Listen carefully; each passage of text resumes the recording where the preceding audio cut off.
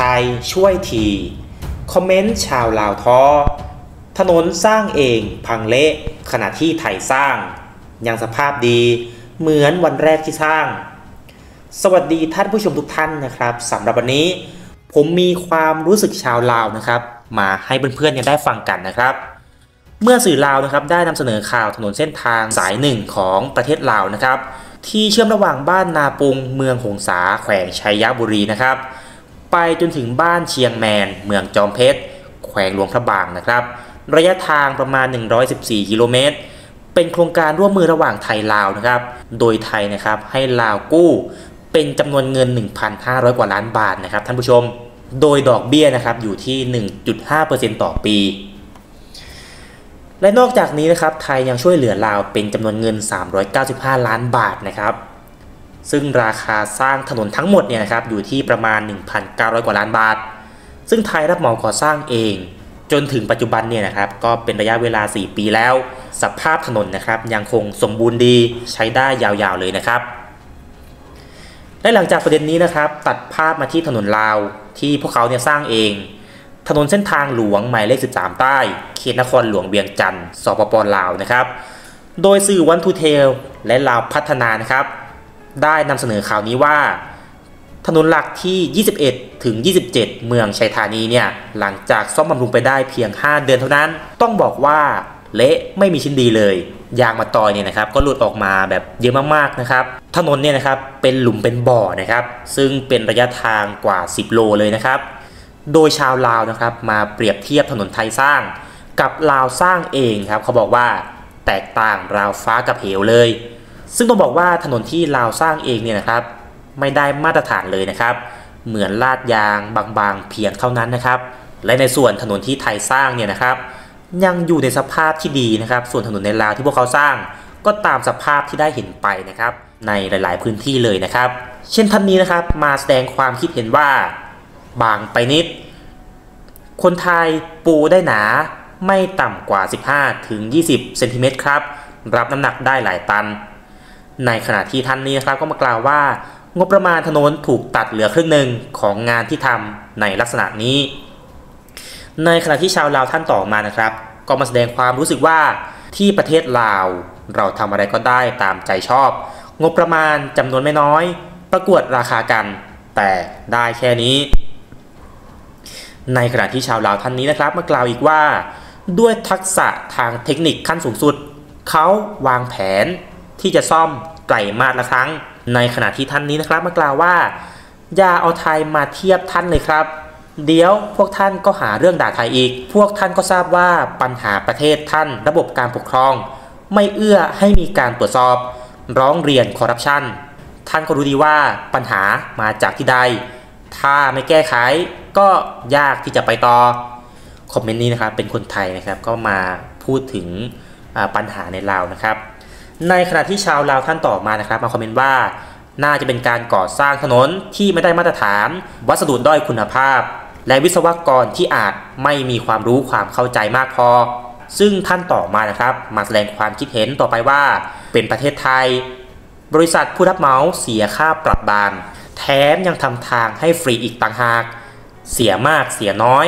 ทำให้ดีเลยซะดีกว่าคอมเมนต์ต่อมาครับ ถ้าผู้นำไม่ฉลาดสงสัย จะทำไม่ได้เช่นนี้นะ ในขณะที่ท่านต่อมานะครับมากล่าวว่า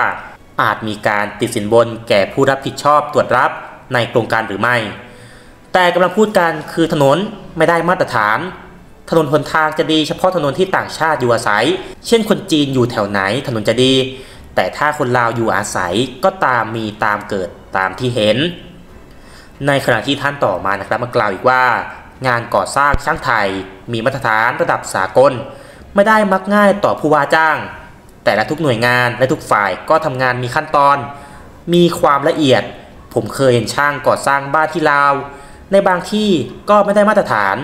ในขณะที่ท่านต่อมานะครับ ก็มากล่าวว่า หากคุณอยู่ที่ต่างประเทศ คุณจะถูกปรับเป็นเงินจำนวนมหาศาลในขณะที่ท่านต่อมานะครับมากล่าวอีกว่า ใช้บริษัทมาตรฐานต่ำผู้ตรวจสอบคุณภาพต่ำไม่มีจรรยาบรรณวิชาชีพ คอมเมนต์ต่อมาครับ พูดตามตรง ไม่มีมาตรฐาน ไม่มีคุณภาพ ในขณะที่ชาวลาวท่านต่อมานะครับมากล่าวว่า น่าเสียดาย เปลืองงบประมาณประชาชน คอมเมนต์ท่านต่อมาครับ รัฐบาลยังคงละเลยคุณภาพ แบบนี้ก็ทำไม่ได้หรอก เปลืองเงิน และมันเปลี่ยนไปแล้ว บทเรียนในอดีตไม่ได้สอนอะไรเลย ให้กับประเทศชาติลาวจะไม่จะเดินรุ่งเรือง คอมเมนต์ต่อมาครับ ถนนที่แพงที่สุดในโลก แพงที่สุดใน 3 โลก ในขณะที่ท่านต่อมานะครับมากล่าวอีกว่า มันเป็นสัญลักษณ์ของประเทศลาว เราต้องรักษาเอกลักษณ์นี้ไว้ ในขณะที่ท่านนี้ครับก็มากล่าวว่า ตอนนี้ถนนชนบทในประเทศเพื่อนบ้านดีกว่ามาก ๆ ซึ่งท่านต่อมานะครับมากล่าวอีกว่า ประเทศเราน่าจะพัฒนาได้ ถ้าบริษัททำไม่ได้ ก็เลิกจ้าง บริษัทอื่นที่มีมาตรฐานมาทำแทน คอมเมนต์ท่านต่อมาครับลาวไม่มีวันโตเหมือนประเทศอื่นๆ ในขณะที่ท่านนี้นะครับมากล่าวว่า ผู้รับสัมปทาน ควรพิจารณาไม่ใช่เพียงแต่กินเงินเดือนอย่างเดียว ซึ่งท่านต่อมาครับมากล่าวอีกว่า ผมคิดว่ารัฐและฝ่ายที่เกี่ยวข้อง ต้องมีสัญญารับประกันคุณภาพถนนเป็นเวลา 3 ปีถึง 5 ปี หลังจากใช้งานแล้วจะต้องมีการซ่อมแซมจุดแตกร้าว ซึ่งท่านต่อมาครับมากล่าวต่อไปว่า ไม่รู้ว่าหน่วยงานไหนรับผิดชอบ และมีมาตรฐานอะไร คอมเมนต์ท่านต่อมาครับ แล้วลองเปรียบเทียบกับประเทศเพื่อนบ้าน ฟ้ากับเหว คอมเมนต์ต่อมาครับ ราคาทางอเมริกา คุณภาพธุรกันดารในขณะที่ท่านนี้นะครับมากล่าวว่า ผ่านไปได้อย่างไรครับ เจ้าของโครงการ คอมเมนต์ต่อมาครับ นี่คือมาตรฐานของประเทศลาว ต่อมาครับ สร้างหนี้ที่ไม่ได้ใช้ในทางที่ดี ให้ประชาชนต้องแบกรับอีกครั้ง ต่อมาครับ ใช้เงินปูถนนเกรด A แต่พอทำถนนใช้เกรดดี ต่อมาครับ ไม่ได้มาตรฐานไม่สามารถรับรถบรรทุกหนักได้ ถือว่าเปลืองงบประมาณอย่างแน่นอน ในขณะที่ท่านนี้ครับก็มากล่าวว่า ขั้นตอนการลาดยางเนี่ยเท่าที่ดูผิดกระบวนการ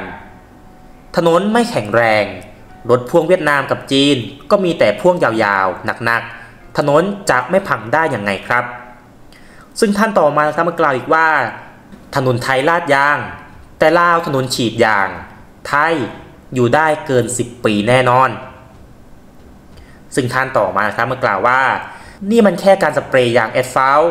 วงเล็บยางมาต่อย แค่เพียงชั้นเดียว ซึ่งมันเป็นขั้นตอนสุดท้ายของการทำถนนลาดยาง แต่ที่เห็นถนนไม่มีการปูเนื้อถนนด้วยหินคลุกผสมยางแอสฟัลเลย มันต้องมีเนื้อยางรองพื้นชั้นแรก ไม่ต่ำกว่า 5 เซนติเมตร ก่อนราดหน้ายางด้วย ส่วนผสมบดละเอียดอีกชั้นแล้วค่อยบดอัดทับ ด้วยรถบดเล็ก และล้อยางอีกรอบ สรุปถนนปูลาดยางแอบฉาบผิวหน้าหลอกๆ แค่นั้น กินงบประมาณในการก่อสร้างจริง ในค่าใช้จ่ายที่โกงไป ไม่ต่ำกว่า 4 ล้านบาทไทย ต่อความยาว 1 กิโลเมตร ซึ่งท่านต่อมาครับมากล่าวอีกว่า ใช้งบประมาณสร้างถนนไปแล้ว 1,000 ล้านบาท 500 ล้านบาท ประชาชนเป็นหนี้ 5,646 ล้านบาท ในขณะที่ท่านนี้นะครับ ก็มาตั้งคำถามนะครับว่า วิศวกรลาวจบจากที่ไหนทำไมถนนด้อยคุณภาพอย่างนี้ ซึ่งมีคนมาตอบใต้คอมเมนต์นี้นะครับว่า จบจากเวียดนามและท่านต่อมาครับเป็นคนไทยนะครับ ก็มาคอมเมนต์ว่า ไทยทำให้ก็ว่าดี แต่รับหลังก็พากันด่าประเทศไทยว่าไม่ดี ยกย่องจีนกับเวียดนาม เหมือนกับเป็นเทพเจ้า ครับนี่ก็เป็นคอมเมนต์ชาวลาวนะครับ หลังจากที่ได้เห็นสภาพถนน ในประเทศของเขานะครับ เพื่อนๆมีความเห็นอย่างไรกันบ้างครับ สามารถมาคอมเมนต์กันได้นะครับสำหรับคลิปนี้มีเพียงเท่านี้แล้วกัน แล้วเจอกันใหม่ในคลิปหน้า สวัสดีครับ